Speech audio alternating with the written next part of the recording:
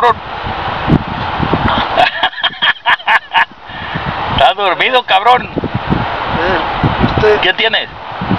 ¿te va- ¿Me voy a comer para allá o? Pues claro, güey. Estás esperando, estás dormido, cabrón. ¿Me estaba esperando? A ver, arrímate para acá. ¿Anda mal o qué? No. Estamos con el líder espiritual, mejor conocido como el Guaguaritas también.